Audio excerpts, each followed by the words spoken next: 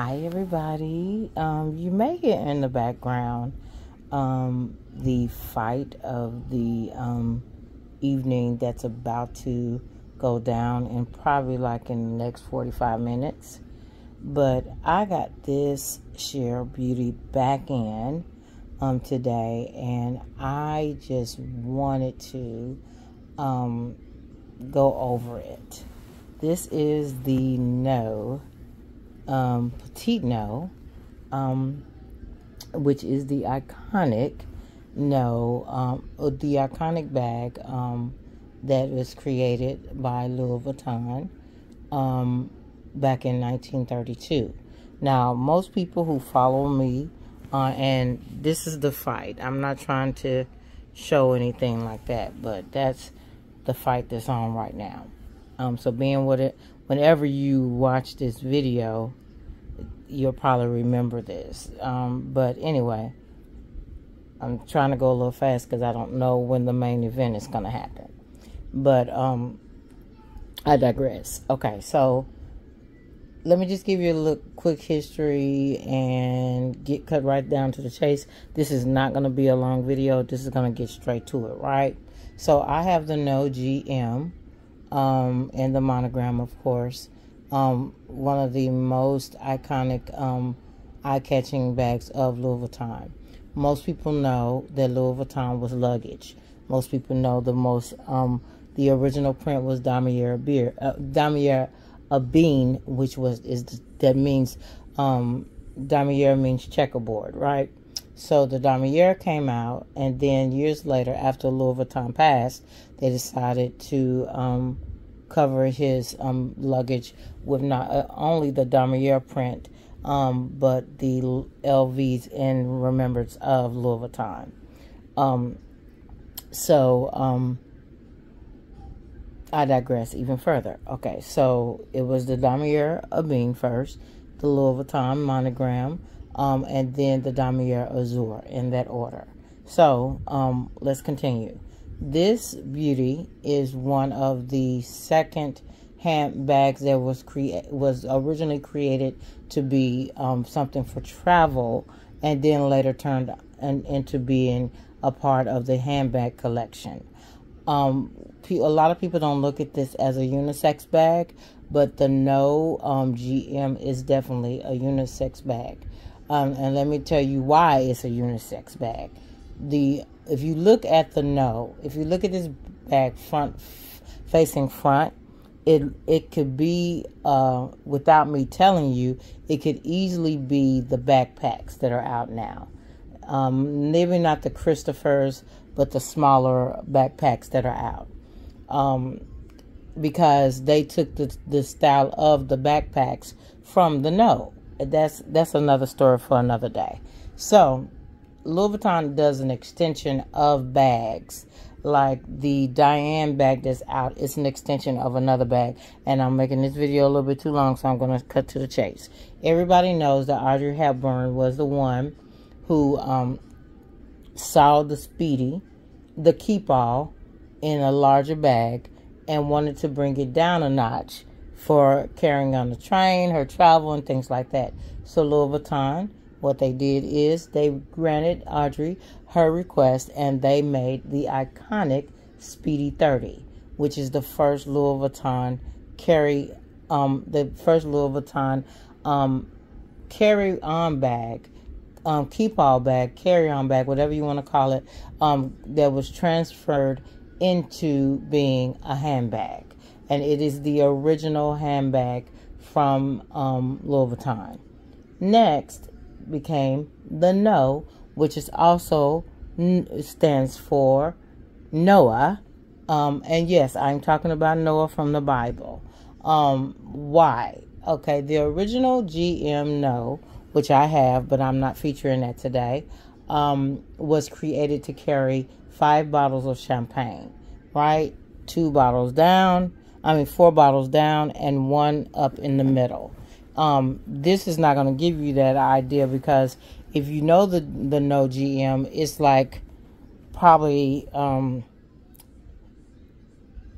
a few inches much higher than this with champagne champagne bottles also with wine bottles could fit inside.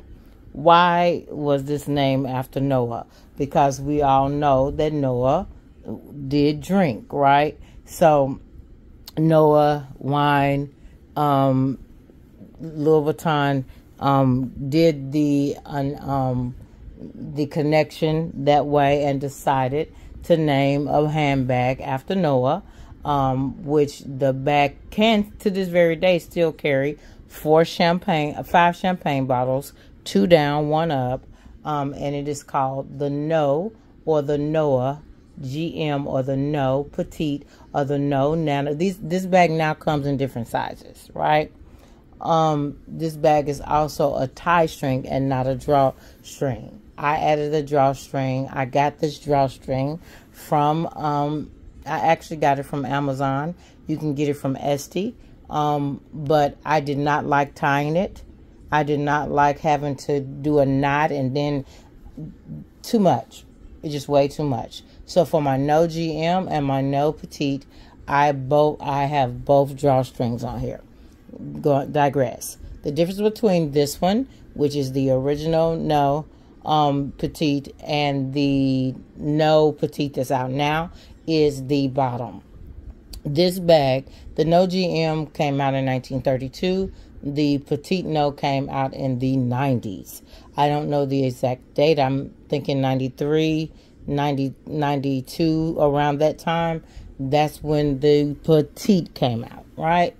Um, and um, when it originally came out, it did not have the base like the base has always been that large vachetta base um, for the GM. But when they originally, when Louis Vuitton created this bag, which you're looking at it now, it did not have the large base at the bottom. It came like this. The only thing that I wish that this bag had that it doesn't have today is feet. Um, I happen to like this version of the petite with the flat vachetta and I happen to like the GM with the with the fat the larger vachetta that takes up a, quite a probably about an inch of the bag which raises these this body of the bag a lot higher on the GM the newer petites um nose come just like the no GM originally came and originally is now so if you get a petite no now, this is a um, original, um, this is a vintage no. And I'm going to tell you why it looks so new in a minute. Um, they came, when they revamped it, they added the um, vachetta, that thick vachetta. Instead of just having the base of it be vachetta, they added it just like the GM. The difference between this one and the newer ones, this is made with vachetta leather. The newer ones are made with cowhide. Um, both of them is raw leather. This is vachetta leather. The new one that comes out now is made with cowhide leather.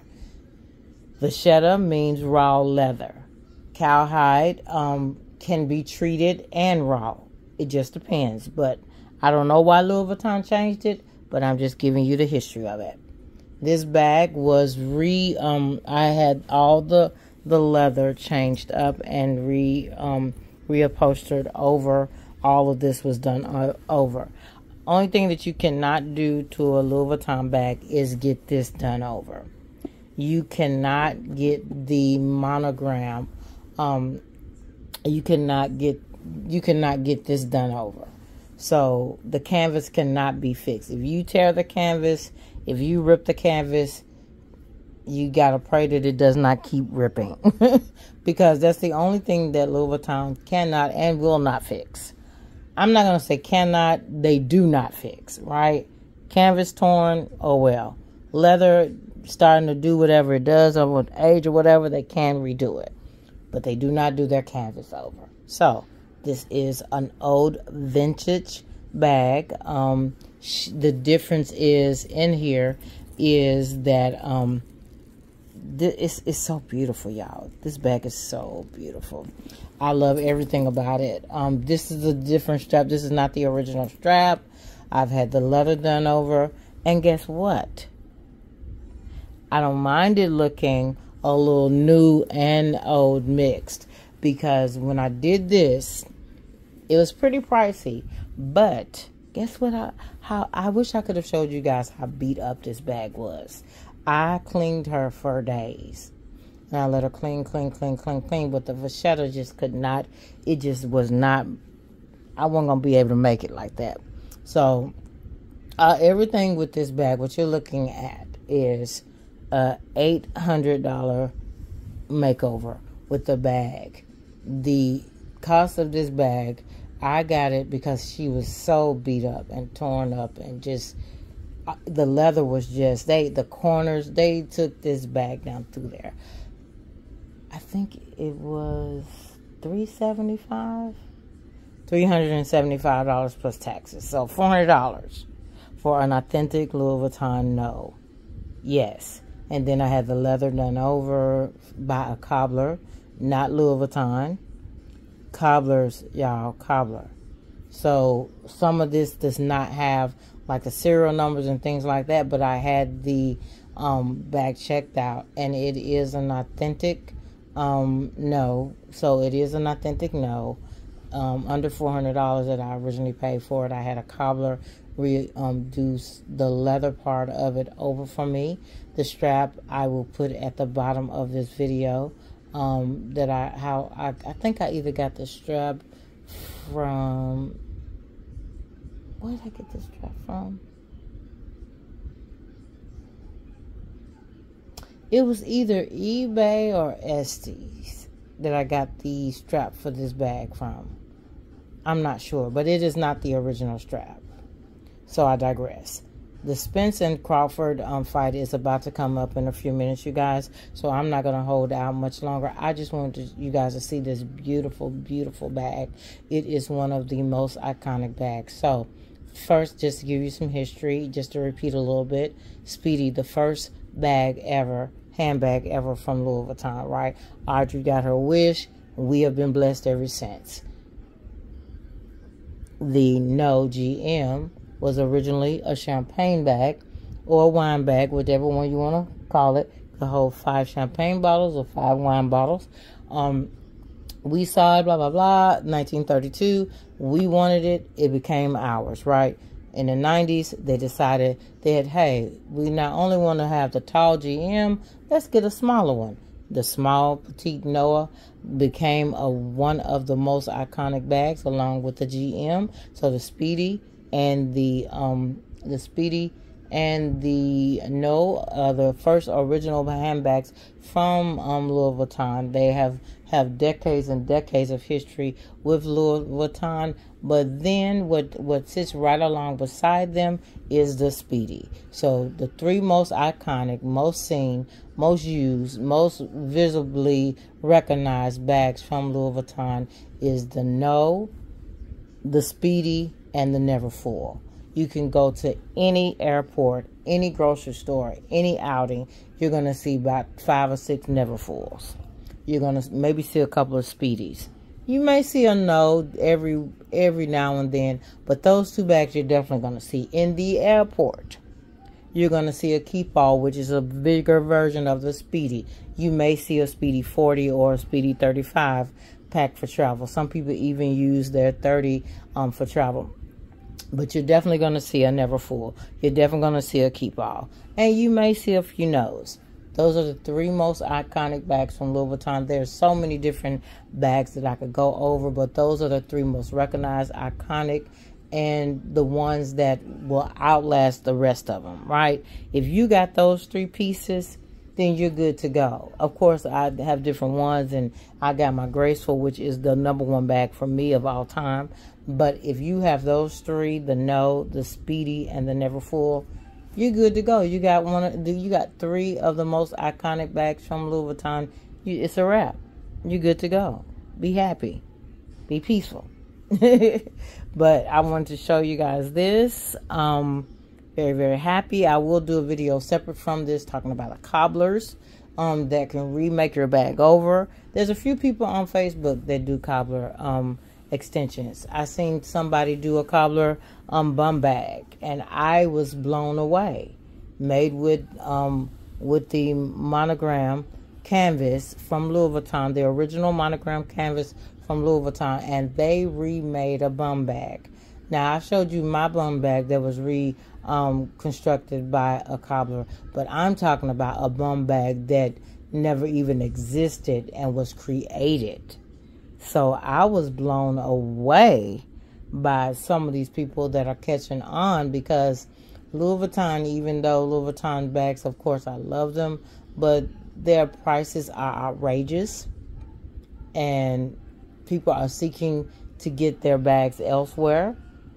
Gently used is where it is.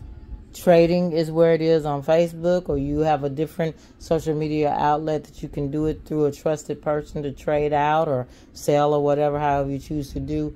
But going directly to the Louis Vuitton site, everything is super, super, super, super expensive, you guys. If you can find um, a bag off off a gently used site, please do, please do. Um, some I do not recommend because, like the bum bag, is way too much on a gently used site. Try to find somebody on the um, Facebook or somewhere that's willing to sell or trade theirs off. But um, yeah, be wise.